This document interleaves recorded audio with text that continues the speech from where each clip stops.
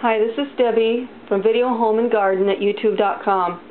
I'm going to show you how to flute the edges of a pie crust, properly vent and decorate the top of the crust. After you have placed the top crust onto the pie, carefully trim away just a little bit of the edges, leaving a nice clean straight edge to the crust.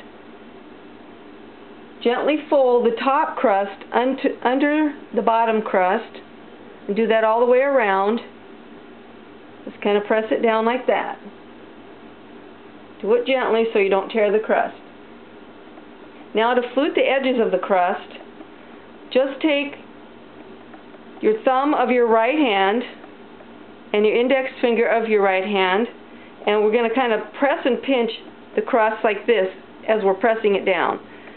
Also take the index finger of your left hand and push against the side of the crust while we're doing that. So it's just like that. Press and push. Press, push and pinch. Press, push and pinch.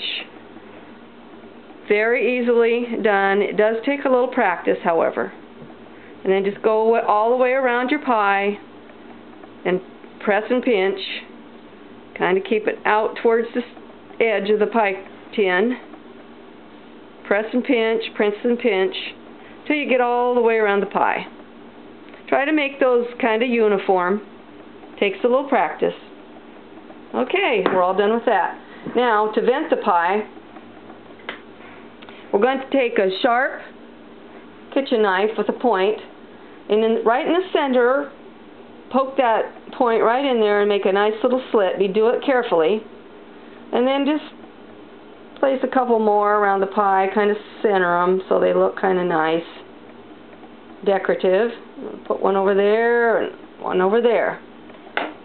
And then to decorate the pie, this is a cherry pie, so I just cut out little circles and stems out of the leftover pie crust. Just to kind of roll the little stem so it looks like a stem instead of just a cut piece of crust. And then just carefully place it onto the pie. Like so. Just like that. And then just sprinkle a little granulated sugar on the top of your pie. And then it's ready to, put, to bake. And bake the pie according to the pie fillings instructions or in, according to your pie's instructions, whichever that is. And then you have a really good pie and a little decoration that adds a lot of pizzazz to the pie. It really looks great and it tastes great too.